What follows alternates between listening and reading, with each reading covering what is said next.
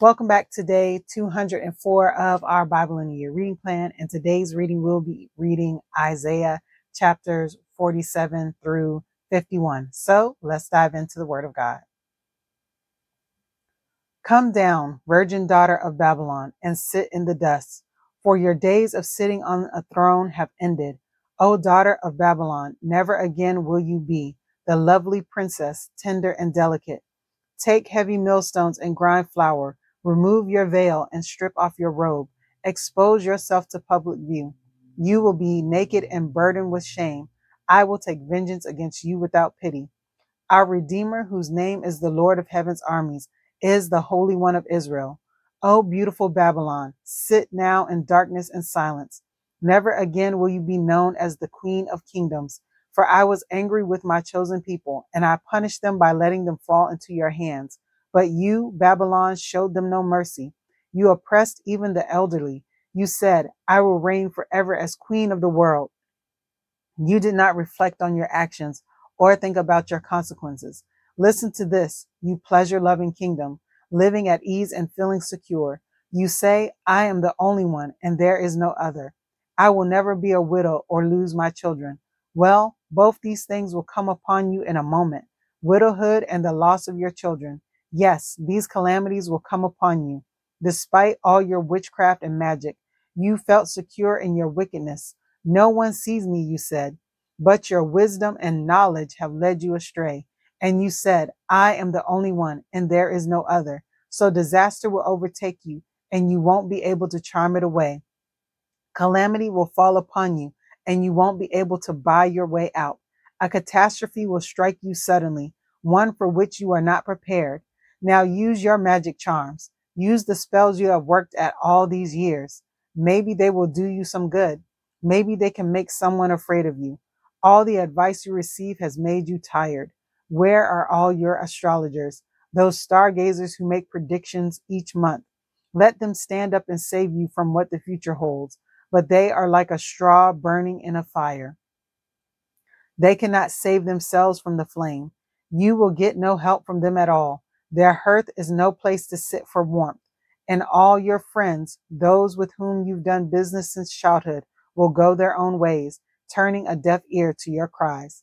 Amen. That is the end of Isaiah chapter 47.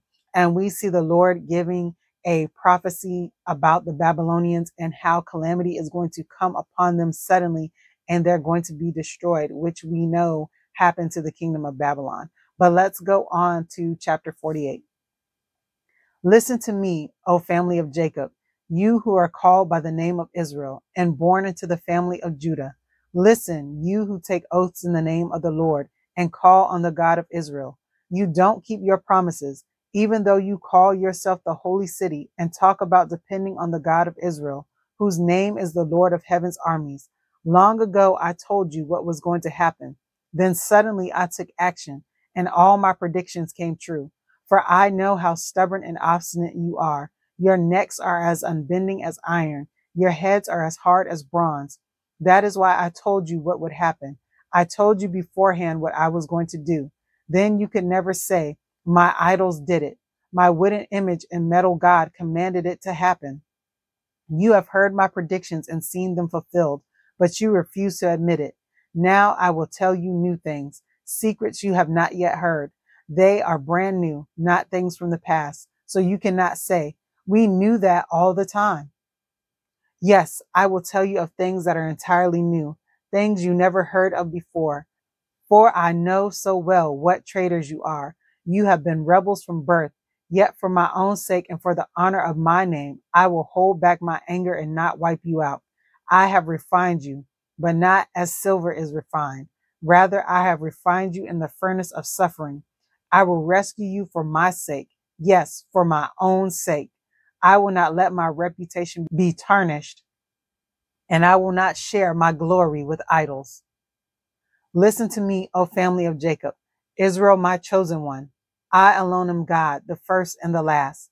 It was my hand that laid the foundations of the earth, my right hand that spread out the heavens above. When I call out the stars, they all appear in order. Have any of your idols ever, ever told you this? Come, all of you, and listen. The Lord has chosen Cyrus as his ally. He will use him to put an end to the empire of Babylon and to destroy the Babylonian armies. I have said it. I am calling Cyrus. I will send him on this errand and will help him succeed. Come closer and listen to this. From the beginning, I have told you plainly what would happen. And now the sovereign Lord and his spirit have sent me with this message. This is what the Lord says, your Redeemer, the Holy One of Israel. I am the Lord your God, who teaches you what is good for you and lead you along the paths you should follow. Oh, that you had listened to my commands. Then you would have had peace flowing like a gentle river and righteousness rolling over you like waves in the sea.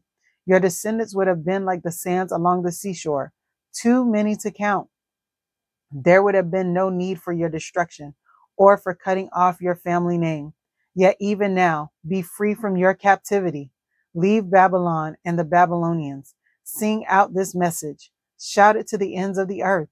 The Lord has redeemed his servants, the people of Israel. They were not thirsty when he led them through the desert. He divided the rock and water gushed out for them to drink. But there is no peace for the wicked, says the Lord. Amen. That is the end of Isaiah chapter 48.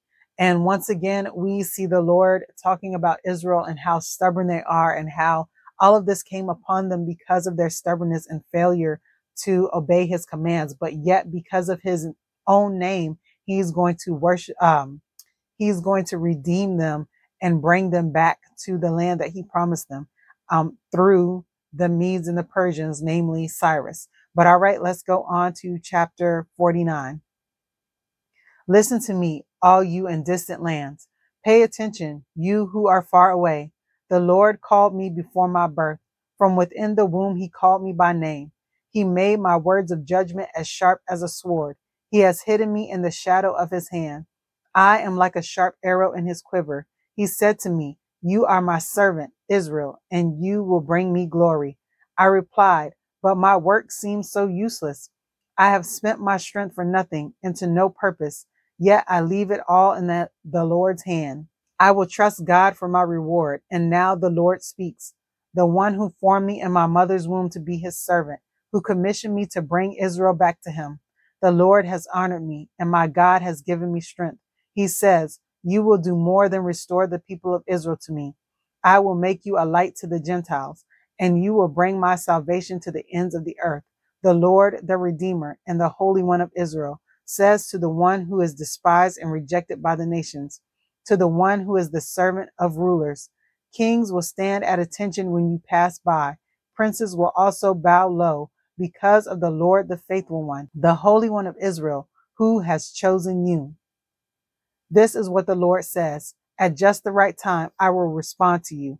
On the day of salvation, I will help you. I will protect you and give you to the people as my covenant with them. Through you, I will reestablish the land of Israel and assign it to its own people again. I will say to the prisoners, Come out in freedom, and to those in darkness, Come into the light. They will be my sheep grazing in green pastures and on hills that were previously bare. They will neither hunger nor thirst. The searing sun will not reach them anymore, for the Lord in his mercy will lead them. He will lead them beside cool waters, and I will make my mountains into level paths for them the highways will be raised above the valleys. See, my people will return from far away, from lands to the north and west, and from as far south as Egypt. Sing for joy, O heavens. Rejoice, O earth. Burst into song, O mountains, for the Lord has comforted his people and will have compassion on them in their suffering. Yet Jerusalem says, The Lord has deserted us. The Lord has forgotten us. Never, can a mother forget her nursing child? Can she feel no love for the child she has borne? But even if that were possible, I would not forget you. See, I have written your name on the palms of my hands. Always in my mind is a picture of Jerusalem's walls and ruins. Soon your descendants will come back, and all who are trying to destroy you will go away. Look around you and see, for all your children will come back to you.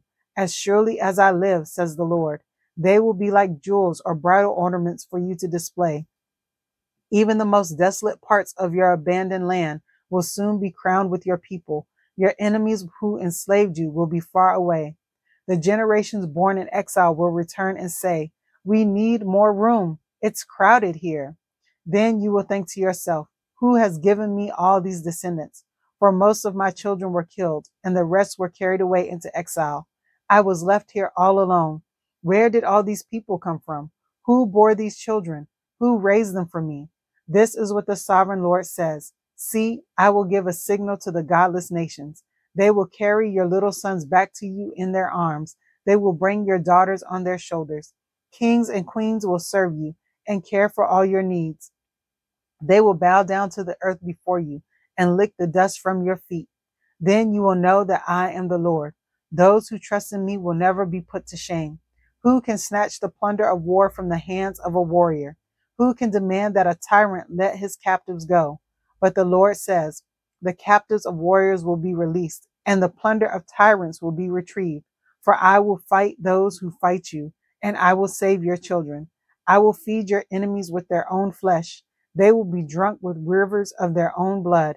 All the world will know that I, the Lord, am your Savior and your Redeemer, the mighty one of Israel. Amen. That is the end of chapter 49 of Isaiah. And once again, we see the Lord prophesying his restoration of Israel and um, him bringing them back to their country and to their nation and how he's going to prosper them and they're going to flourish. But all right, let's go on to Isaiah chapter 50. This is what the Lord says. Was your mother sent away because I divorced her? Did I sell you as slaves to my creditors? No, you were sold because of your sins, and your mother too was taken because of your sins. Why was no one there when I came? Why didn't anyone answer when I called? Is it because I have no power to rescue? No, that is not the reason. For I can speak to the sea and make it dry up. I can turn rivers into deserts covered with dying fish. I dress the skies in darkness, covering them with cloths of mourning. The sovereign Lord has given me his words of wisdom, so that I know how to comfort the weary. Morning by morning, he wakens me and opens my understanding to his will. The sovereign Lord has spoken to me, and I have listened. I have not rebelled or turned away. I offered my back to those who beat me, and my cheeks to those who pulled out my beard. I did not hide my face from mockery and spitting. Because the sovereign Lord helps me, I will not be disgraced. Therefore, I have set my face like a stone, determined to do his will, and I know that I will not be put to shame. He who gives me justice is near. Who will dare to bring charges against me now? Where are my accusers? Let them appear. See, the sovereign Lord is on my side. Who will declare me guilty? All my enemies will be destroyed, like old clothes that have been eaten by moths. Who among you fears the Lord and obeys his servant? If you are walking in darkness without a ray of light, trust in the Lord and rely on your God. But watch out, you who live in your own light, and warm yourselves by your own fires. This is the reward you will receive from me. You will soon fall down in great torment. Amen. That is the end of Isaiah chapter 50. And once again, the Lord is um, talking through the prophet Isaiah. And, you know, he's reminding the people, you know, to trust in him and to not trust in their own light, but to put their faith and trust in the Lord. But all right, let's go on to chapter 51. Listen to me, all who hope for deliverance, all who seek the Lord. Consider the rock from which you were cut, the quarry from which you were mined. Yes, think about Abraham, your ancestor, and Sarah, who gave birth to your nation. Abraham was only one man when I called him but when I blessed him, he became a great nation. The Lord will comfort Israel again and have pity on her ruins. Her desert will blossom like Eden, her barren wilderness like the garden of the Lord. Joy and gladness will be found there. Songs of thanksgiving will fill the air. Listen to me, my people. Hear me, Israel, for my law will be proclaimed, and my justice will become a light to the nations. My mercy and justice are coming soon. My salvation is on the way. My strong arm will bring justice to the nations. All distant lands will look to me and wait and hope for my powerful arm. Look up to the skies above and gaze down on the earth below, for the skies will disappear like smoke, and the earth I will wear out like a piece of clothing. The people of the earth will die like flies, but my salvation lasts forever. My righteous rule will never end. Listen to me, you who know right from wrong, you who cherish my law in your hearts. Do not be afraid of people's scorn, nor fear their insults. For the moth will devour them as it devours clothing. The worm will eat them as it eats wool. But my righteousness will last forever. My salvation will continue from generation to generation. Wake up, wake up, O Lord. Clothe yourself with strength. Flex your mighty right arm. Rouse yourself as in the days of old, when you slew Egypt, the dragon of the Nile. Are you not the same today, the one who dried up the sea, making paths of, of escape through the depths so that your people could cross over? Those who have been ransomed by the Lord will return. They will enter Jerusalem singing, crowned with everlasting joy. Sorrow and mourning will disappear, and they will be filled with joy and gladness. I, yes, I am the one who comforts you. So why are you afraid of mere humans who wither like the grass and disappear? Yet you have forgotten the Lord, your creator, the one who stretched out the sky like a canopy and laid the foundations of the earth. Will you remain in constant dread of human oppressors? Will you continue to fear the anger of your enemies? Where is their fury and anger now? It is gone. Soon all you captives will be released. Imprisonment, starvation, and death will not be your fate. For I am the Lord your God, who stirs up the sea, causing its waves to roar. My name is the Lord of heaven's armies, and I have put my words in your mouth and hidden you safely in my hand. I stretched out the sky like a canopy and laid the foundations of the earth. I am the one who says to Israel, You are my people. Wake up, wake up, O Jerusalem. You have drunk the cup of the Lord's fury. You have drunk the cup of terror, tipping out its last drops. Not one of your children is left alive to take your hand and guide you. These two calamities have fallen on you desolation and destruction, famine and war. And who is left to sympathize with you? Who is left to comfort you? For your children have fainted and lie in the streets, helpless as antelopes caught in a net. The Lord has poured out his fury. God has rebuked them.